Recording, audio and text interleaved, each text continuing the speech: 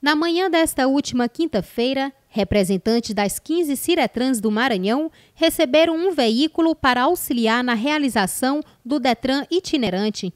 O diretor-geral do Detran do Maranhão, Francisco Najib, e o secretário de Estado da Segurança Pública, Jefferson Portela, fizeram a entrega. Colegas de trabalho das Ciretrans, das 15 Ciretrans espalhadas por todo o estado, hoje teremos um dia especial da gente conversar, da gente dialogar, da gente planejar.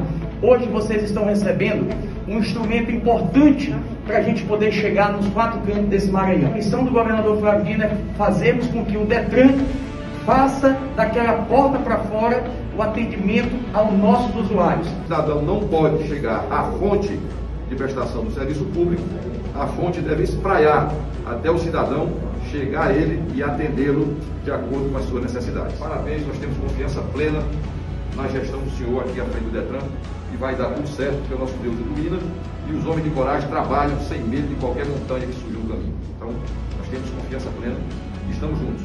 A quarta Ciretran de Balsas foi uma das contempladas. Luceandro Lopes esteve em São Luís para receber o automóvel.